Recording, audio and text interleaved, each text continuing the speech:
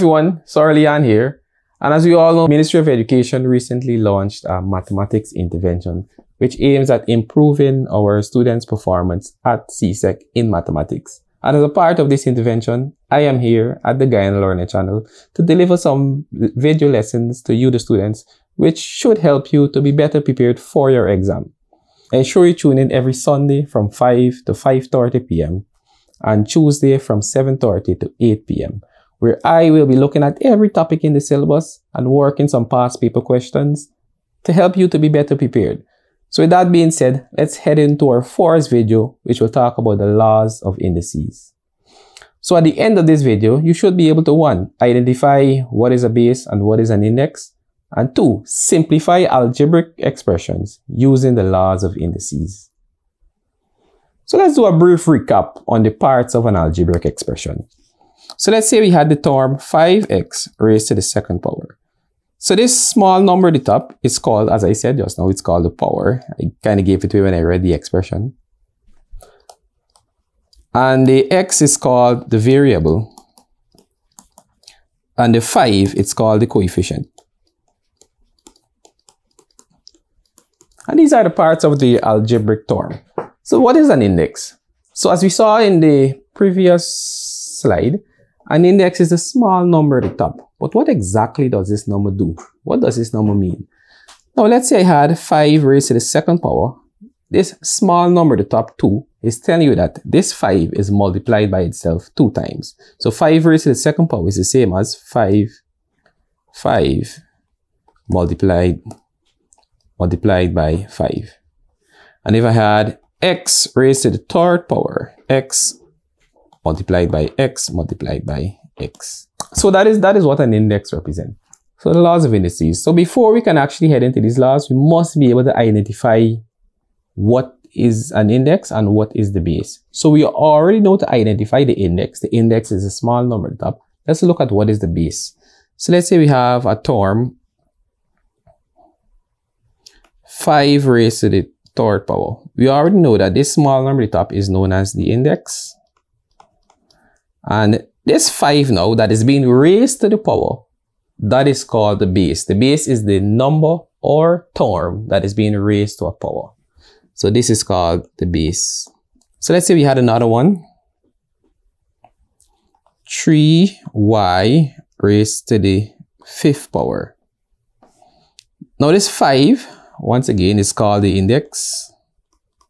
And the y, which is being raised to the power, is called the base in this case. So the y will be the base because the y is being raised to the fifth power. So those are the parts that will help you to use the laws of indices. Now let's look at some brief um, examples in identifying the base and index. So we'll spend some time on this because this is important. As long as you can identify the base and index, that will help you to use the laws of indices. So the first one is b raised to the third power. So the 3 will be the index and the b will be the base. And the second one, 4y raised to the fifth power. So the 5 will be the index and the y will be the base. And now we have m. Now, as you can see, m is not being raised to any power. So, when you don't see a term or a number being raised to a power, we, sh we should know that a power is there, but that power is invisible, and that power is 1. So when you don't see any power, just know that it is being raised to the first power. So in this case, m would be the base, and 1 would be the power. And the same thing goes for 7. 7 would be the base. And once again, we don't see a power, but we know it's the first power. And 1 will be the power. And as you can see, I'm using the word power and index interchangeably because they both mean the same thing. Power or index. You can use whichever, whichever one you're comfortable with. But just know that they both mean the same thing. So number 5, we have AB all raised to the fifth power. Now, AB is in a bracket and in the entire AB is being raised to the fifth power. So in this case, the index would of course be 5. And the base will be the entire AB. And the last one, x raised to the second power, y raised to the fifth power. So in this case, we have two sets of indices. So the first one would be y would be the first index or power and 2 would be another index. So the base for the index 5 would be y and the base for the index 2 would be x. Because remember the base is whatever is being raised to the power. So each index will have a base. So now that we have a solid understanding of identifying the base and the index, now let's head into our first law. So the first law says, when multiplying terms with the same base, write back the base and add the indices. So this is one that you will definitely have to use a lot in your preparation for the exam and in the exam itself. So you need to pay keen attention to this law. This will be used a lot. So when the bases are the same, we put back the base and we add the indices. So let's look at the first example. So let's say we had x to the second power multiplied by x to the third power. And as we can see, the base for the first term is x and base for the second term is x. So they are the same. So we write back the base and we add the indices. So 2 plus 3 would give you 5. So x to the second power multiplied by x to the third power would simply give you x raised to the fifth power. So the second law, we have 2a raised to the third power multiplied by 3a raised to the second power. So when we have terms with coefficients, as we looked at the parts of the algebraic term just now, when we have terms with coefficients, this is what we do. We multiply those coefficients first. We multiply the numbers first. So that is the first thing we do. So we have 2a raised to the third power multiplied by 3a squared. So the first thing is multiply 2 by 3. So 2 times 3 would give you 6. And then a to the third and a to the second, the bases are the same. So we put back the base and we add the powers. So 3 plus 2 would give you 5. So when we have terms with numbers and we are multiplying, we have to ensure we multiply the numbers first and then the variables. So the next example now, negative 6x to the second multiplied by 3x to the fourth, y to the second. So in this example now, we see we have negative and positive numbers. So this is taken as a step further. So when we have negative and positive numbers and so on, these are the steps in which we do our multiplication. The first thing to do is to multiply the signs. As long as you're multiplying and you have signs, you always multiply the signs. In the earlier examples, the first one, x to the second multiplied by x to the third, we did multiply the signs. But we know a positive times a positive will simply give us a positive. So we kind of ignore that part because, you know, not the sign did not change. And the second example as well, we had positive times a positive, which will give you a positive. But in this example, we have negative 6 to the third multiplied by 3x to the fourth, y to the second. So we have a negative 6 and a positive 3. So you multiply the negative times the positive. That's the first thing you do. You multiply the signs. And then you multiply the numbers, which, which would be the coefficients. And then you multiply the variables, which would be the letters.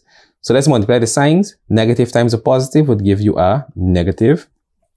Now the numbers, 6 times 3 would give us 18. And now we have the vari variables, x to the second multiplied by x to the fourth, y to the second. So we have bases, some bases are the same. So what we do, we do, we put back, those bases are the same, which would be the x. We put back the base that is the same, which would be the x. And then we add the powers for those bases. So 2 plus 4 would give us 6. And then we have y to the second. There's nothing to multiply the y with, so we just stitch on the y. So negative 6x to the second multiplied by 3x to the fourth, y to the second would give us negative 18x to the sixth power, y to the second power. So let's add in another example just to cement this concept. Let's take things a bit further. So let's say we have negative 4a to the second b multiplied by negative 3a to the third b. So once again, The first thing to do, the first step is to multiply the signs. You're always multiplying the signs first, and then the numbers, and then the letters. So always keep that at the back of your mind. Signs, numbers, letters. So let's multiply the signs. So negative times a negative would of course give us a positive.